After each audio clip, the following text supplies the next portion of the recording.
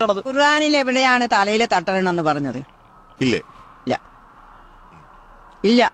ഞാൻ വ്യക്തമായിട്ട് പറയാം. ഇതേപോലെയുള്ള കുറെ കാര്യങ്ങളാണ് ഉള്ളത്. അല്ലെങ്കിലും അങ്ങനെ ഉണ്ടോ? എവിടെയാണുള്ളത് ചിലപ്പോൾ ഈ കോൺഫിഡൻസ് പറയുന്ന കോൺഫിഡൻസ് കേട്ടാൽ ചിലപ്പോൾ ആളുകൾ തെറ്റിദ്ധരിച്ചു കേട്ടോ സാധാരണക്കാർ ശരിക്കും ഒരു തെളിവല്ല രണ്ട് തെളിവ് ഖുറാനിൽ കാണിച്ചു തരാം കേട്ടോ. സൂറത്തുൽ അഹ്സാബ് മുപ്പത്തിമൂന്നാം അധ്യായം അൻപത്തി ഒൻപതാം ആയത്ത് നമുക്കൊന്ന് നോക്കാം.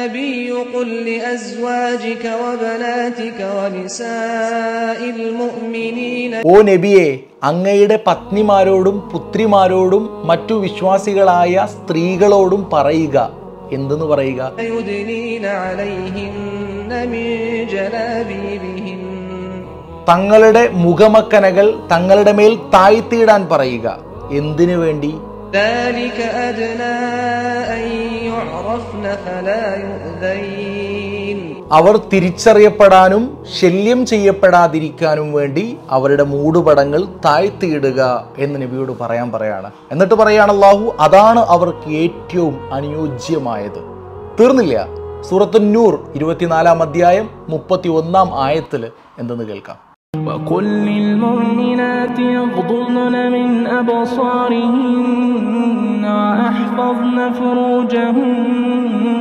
സത്യവിശ്വാസിനികളായ സ്ത്രീകളോട് അവരുടെ ദൃഷ്ടികൾ താഴ്ത്തുവാനും അവരുടെ ഗുഹ്യസ്ഥാനങ്ങൾ കാത്തു സൂക്ഷിക്കുവാനും പറയുക ولا يبدين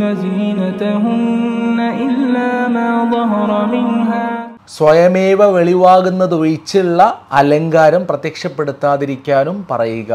എന്നിട്ട് പറയുന്നുണ്ട് വല്യ ദ്രിപുന ബിഹുമുരിഹിൻ അല ജുയൂബിഹിന് അവരുടെ മുഖമക്കനകൾ മൂടുപടങ്ങൾ അവരുടെ കുപ്പായമാറുകൾക്ക് മീതെ താഴ്ത്തിയിടട്ടെ താഴ്ത്തിയിടണം എന്ന് പറയുന്നുണ്ട്.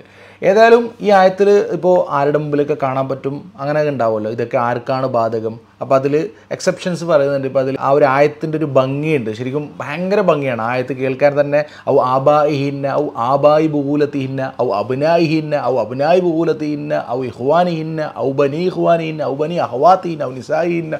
ശരിക്കും ഭയങ്കര രസമാണ്. അതായത് അവരുടെ പിതാക്കന്മാരുടെ മുമ്പിൽ അവരുടെ ഭർത്താക്കന്മാർ പുത്രന്മാർ ഭർത്തൃപുത്രന്മാർ വേറെ ഭർത്താവിന് പുത്രന്മാരുണ്ടെങ്കിൽ അതുപോലെ സഹോദരിയുടെ പുത്രന്മാർ സഹോദരന്റെ പുത്രന്മാർ ലൈംഗികാസക്തി തോന്നാത്ത പുരുഷന്മാരായ പരിചാരകർ അതുപോലെ സ്ത്രീയുടെ രഹസ്യം അറിഞ്ഞിട്ടില്ലാത്ത കുട്ടികൾ അങ്ങനെ വളരെ ഭംഗിയായിട്ട് പറയുന്ന ഒരു ആയത്താണത് സുഹൃത്തുന്നൂറ് നോക്കിയാൽ നിങ്ങൾക്ക് തന്നെ അത് കിട്ടും കേട്ടോ എന്തായാലും. അപ്പോൾ എനിക്ക് പറയാനുള്ളത് ശരിക്കും ഈ വിഷയത്തിൽ എന്താ പറയുക അറിവില്ലായ്മ അതൊരു തെറ്റല്ല.